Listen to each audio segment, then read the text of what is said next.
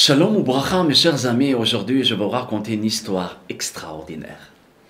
C'était à l'époque d'un grand admour, d'un grand tzaddik, de Rabbi Levi Yitzhak Miberditchov.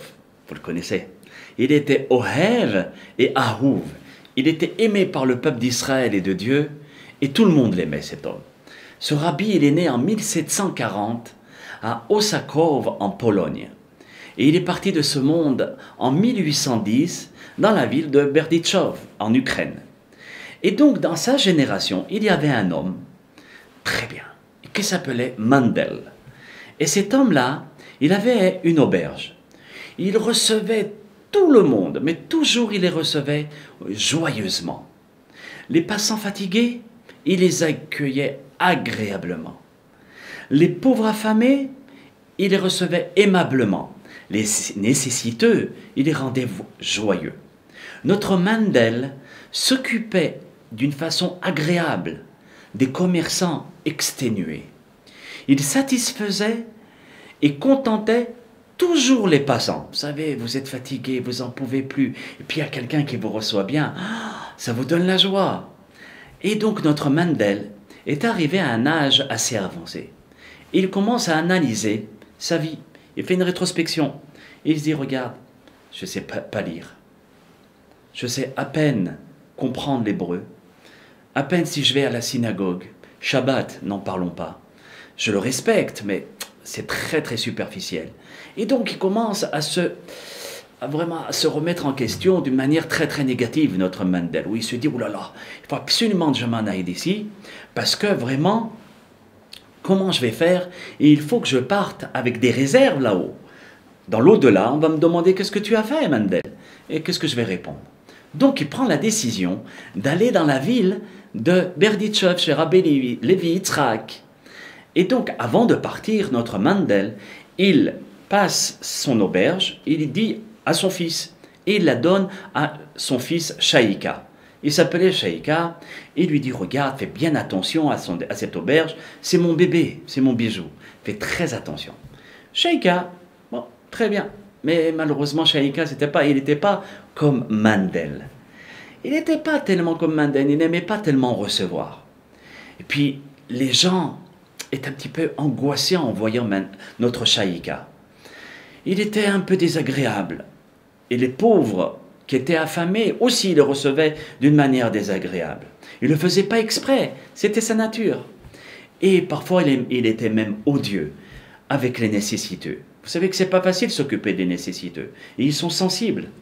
Donc Sheikha déplaisait à tout le monde. Bref, il était tout le contraire de son père. Et de son côté, Rabbi Levi Yitzhak Miberditchov a eu vent de la situation.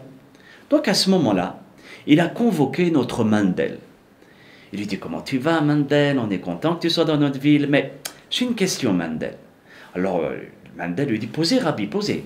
Il dit Pourquoi tu as laissé ton commerce? Ça marchait pas? Il dit Si, Baruch Hashem, ça marchait à la perfection. Mais regardez, Rabbi, je priais toujours tout seul. Je partais à la synagogue, mais je restais même pas dix minutes. Les Amen, Barechu, Berechu, les Tifilin, je les mettais en vitesse. Je faisais mon judaïsme, je faisais ma prière, je faisais mon judaïsme, mais très superficiellement. Je ne ressentais plus rien. Donc je me suis dit, qu'est-ce que tu vas répondre lorsque tu vas être convoqué là-haut, au tribunal céleste? Qu'est-ce que tu vas dire? Regardez, Rabbi, moi ici, je kiffe.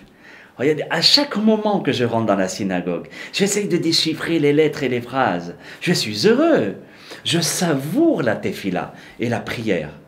Je ressens vraiment le Shabbat quand je vois les chassidim passer à droite et à gauche dans vraiment le sheket. Il n'y a pas de voiture ou de caravane qui passe. On est bien.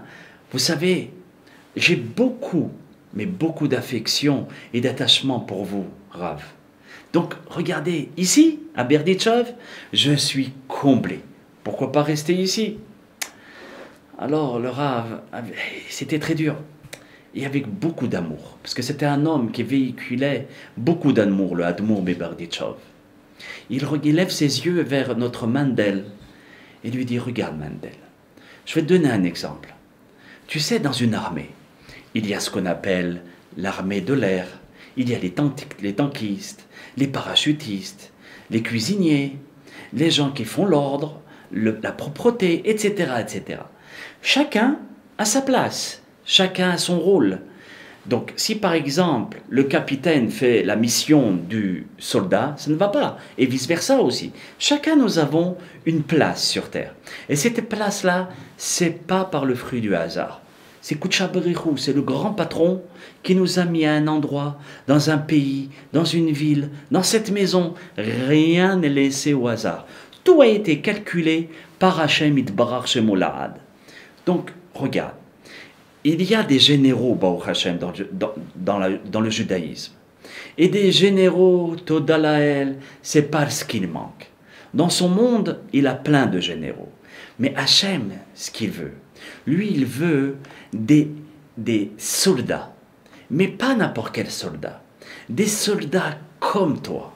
Hachem, il a besoin de ça. Ta place, mon cher Mandel, excuse-moi de te décevoir, mais elle est dans cette belle auberge, pour que tu puisses recevoir avec joie les passants démoralisés, pour que tu puisses accueillir les pauvres, les pauvres, oui, avec un bon verre de thé chaud, de préparer un bon repas chaud aux commerçants qui sont vraiment cassés.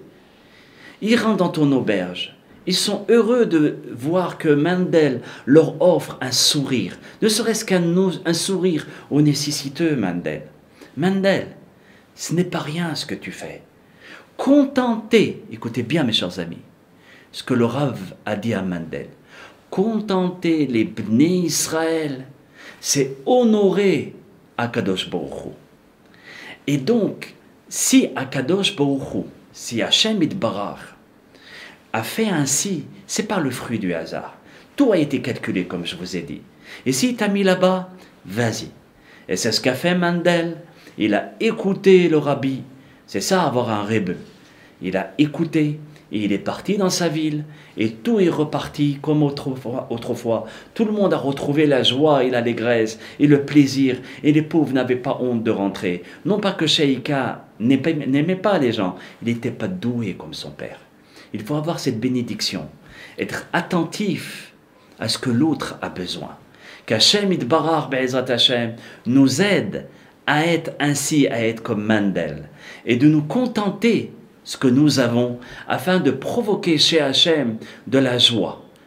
Amen Ratson. Bracha et j'espère Be'ezat Hachem très bientôt vous retrouver pour une belle histoire aussi. Kordu, shalom shalom.